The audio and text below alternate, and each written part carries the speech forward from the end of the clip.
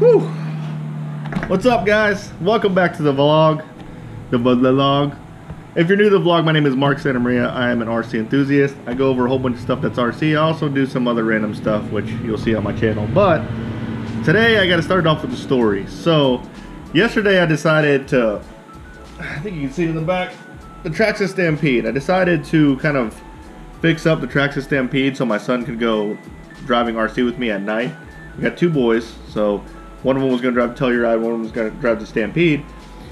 And instead of letting them use a DX4R to drive the Stampede, I decided I was going to bind up one of the Traxxas radios. That way, if he drops it or, you know, falls down or something, it doesn't destroy a $300 radio and it only destroys a factory radio. So, I started digging through some of my stuff.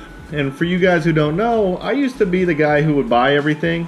Um, when people want to get rid of stuff, I would just buy the lot and then I would part it out and sell it, which I do plan on doing vlogs on how to buy and sell stuff, which I made a little bit of money, nothing to obviously live on, but it was fun doing it. Anyways, I found a Traxxas radio and I found a hidden gem in my Traxxas radio. I had an old Traxxas TQI radio, and I guess whenever I traded it, I didn't even real or whenever I bought it or got it in a trade, I didn't realize it actually had the Traxxas link in it. So I bought a Traxxas link.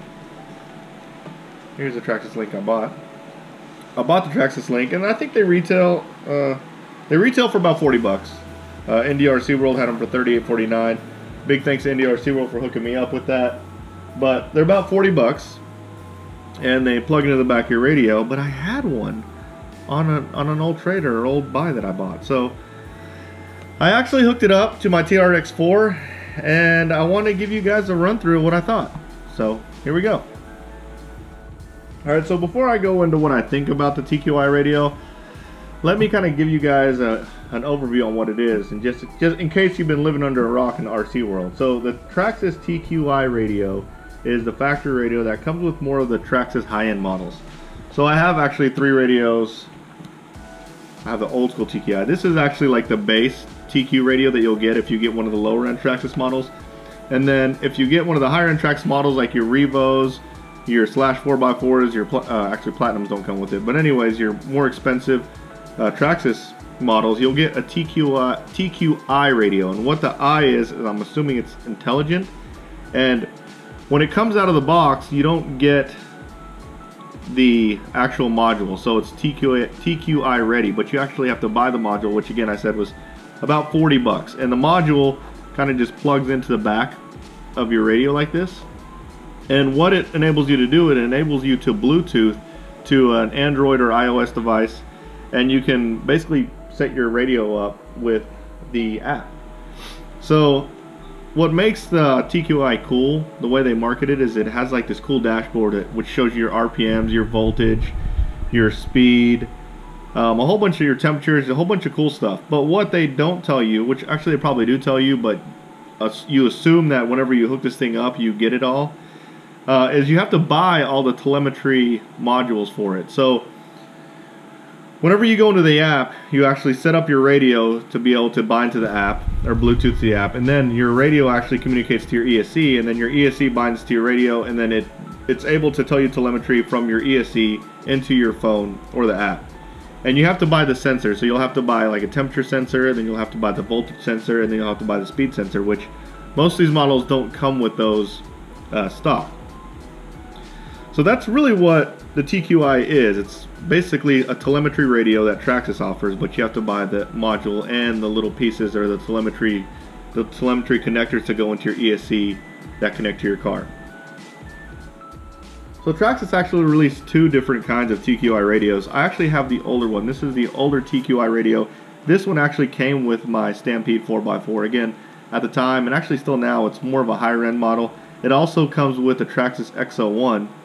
And as you can see, it's actually significantly bigger than the newer TQI. This is the newer TQI, TQI radio. This is the one that came with my TRX4. As you can see, there's that fourth channel up top. Um, but these are basically the two different kinds that they've released.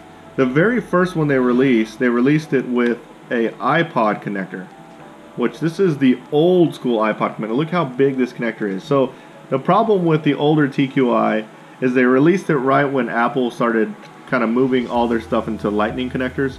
So this was kind of an obsolete connector already.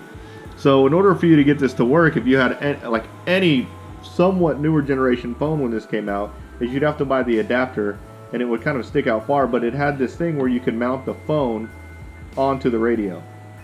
So the connector was lame, but I will say mounting the phone onto the radio was actually pretty cool because it made you feel like you had a high-end radio because you had your iPod or your iPhone at the time um, on there. And there's kind of a picture down there at the bottom that kind of shows you how it connects on there. But it made you feel like you had a high-end radio with the screen. And if you had all your telemetry modules configured and connected onto your ESC, you could actually see all your speeds and RPMs and voltage, and that was pretty cool. So this was the very first one they created. They never updated it to have the lightning connector. It's still the old iPod connector. And instead of creating it with an old iPod connector or whatever connector that you wanted, they ended up doing the whole Bluetooth thing. And this is the newer one. It's a lot smaller. It's not as bulky on the bottom. And there's no way to mount your phone on here. So you Bluetooth to your phone and you can control everything through there. Actually, I don't even have my phone with me, but I'll do that in a second. Anyways, so although it was easier and kind of cooler to be able to Bluetooth your phone, it didn't have the mount on the bottom, which I think the mount's kind of cool. So my son actually likes this radio because whenever we go driving at night or whenever we go driving when we're walking, he likes to put his iPod on here and we'll bring a speaker and he'll control the music and he'll be able to drive and then pick songs that he likes to uh, listen to with this with his uh, iPod connected to a speaker, so or his headphones. So that was kind of cool, but it is kind of bulky. So those are actually the two types of TQI radios that you can find right now. This one's actually pretty obsolete, but you still probably run into this. So real quick, I'll kind of show you all the app. I won't go through the app because there's a lot of stuff on the app, but basically you can download it, I guess, on the Google Store or the Apple Store. It's called Traxxas Link, and it starts off with giving you like a, an ad not really an ad, but you can skip the video. And you have like this thing right here. And it gives you all the different things you can do. You can select different uh, model profiles.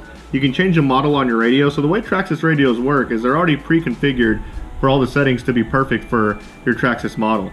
So if you were to try to move a Traxxas radio and uh, radio and ES or radio and receiver to another model, you'd have to change the model and it would pre-configure it to that model. So you're able to do that. And before, you have this, the, the way you programmed it without this is you'd have to use this crazy menu tree and you'd have to hold this button and then pat your head and then rub your belly and do a couple of circles and then hit this button and then hit that button three times and wait for 15 flashes. It was kind of crazy. So this makes it really easy to be able to select models and also do any of your configurations. Endpoints were kind of a big pain in the butt with the TQ radio. With the TQ uh, Traxxas link, it actually makes setting endpoints super easy. You can just go to your garage and then you can do your channel setup and you can go to all your different channels and then set that up. So I'm not going to go through all this stuff, but it does making configure it does make configuring your Traxxas radio super easy. And it does you can do the endpoints. Uh, everything that you can do on a high-end radio you can pretty much do on this. It even has all your telemetry set up. Actually, it, actually has Traxxas stability management, which I don't have TSM on any of my cars, but apparently that makes it where you don't freaking spin out and stuff like that. So, one more thing I forgot to show you guys. This is probably what you guys want to see. The little dashboard. Let's see if I can get it. Where? There you go. It's a dashboard. So he has your RPM gauge, your speedometer, your voltage, and your temperature. That's kind of cool. But again, it was cool whenever you could put it on your radio and see it. Now, you don't have a way to put it on your radio. So that's a perfect transition on what I think about the TQI radio with the Traxxas Link. I used it last night. Uh, we went driving last night at night at a park, and it was we had a lot of fun. Uh, it was super handy. Like I could tell my whenever I, I, basically whenever I connected it because my stuff has never been connected to it, I had to do some updates. So it had to update my radio, and it also updated my ESC. So my endpoints were a little off, and it was super easy to set my endpoints. I say super easy because I was like, I don't have to set it up, you know, I don't have to do this whole thing and go into my menu. It's really intuitive on the app. I will say what was kind of a pain in the butt, if you can't drive your car with one hand, you need two people to do it. So whenever I was setting my endpoints, I basically had to control it with one hand and set my endpoints with my phone. So I'm sitting there in the park like this, which for me, fortunately I got fairly large hands, I can do that. But if you're a little kid or you don't have big hands, that's going to be kind of a pain in the butt to turn and set your endpoints with this like this. Whereas with the old one, if you had to connect it connected, it's pretty easy. You can kind of control and then you know move it. There's basically something holding your phone. So although I like the Bluetooth aspect, they definitely should have got rid of the connector because everything's Bluetooth and connectors are, you know, there's different connectors for a phone. So although I like the Bluetooth aspect, it was kind of a pain in the butt to hold them both. But as for the functionality of it, it was super good. I mean, I could set the endpoint super easy. Um, I don't have any of the telemetry set up, which I, that would have been cool. One of the things I wanted to do was be able to hook the speedometer up and be able to hook the speedometer up and see how it compares with actually hitting the radar gun, which I'm not sure how well it would compare because I think it actually monitors the speed based on the on the uh, on the gearing. So you set the gearing, then it basically sees the speed of your transmission. That's how it bases speed, which isn't true speed to me. I mean, I guess it could be. It could be pretty close. But what it won't be catching is, you know, if you have wheel size differences or tire size differences, it's not going to be able to catch that. But overall, it's pretty freaking cool. I don't, I didn't get much use out of it besides being able to set my radio up.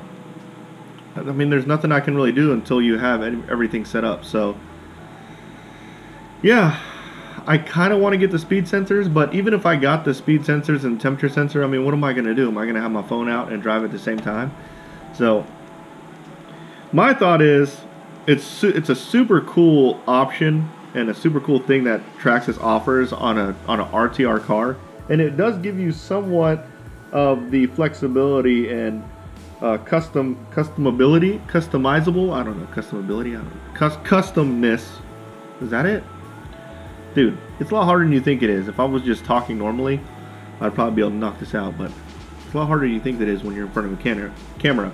Anyways, gives you the ability to customize your stuff like a high-end radio, but it's not, you know, it's an RTR radio, so that's cool. But at the same time, it's kind of lame that you have to buy all the modules for it. Like, I'm probably going to have to dump another 50 bucks in here to get all these gauges to work, and when I do that, am I really going to use it?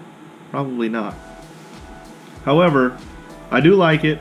I know that Traxxas, um, and this is kind of like a, I don't even know if this is an insider tip. I heard a rumor. How about we say that? I heard a rumor that Traxxas is really going to start pushing this radio, and I think that would be cool. We'll see how that goes. So there you have it, the, Traxxas, the Traxxas TQI radio. Traxxas. the Traxxas TQI radio. Um, it's a cool radio. You should definitely give it a try. And if anything, it makes it super easy to select your models and set your endpoints. So, thanks for watching. Like, subscribe, and you'll see me next time. Thanks a lot, guys.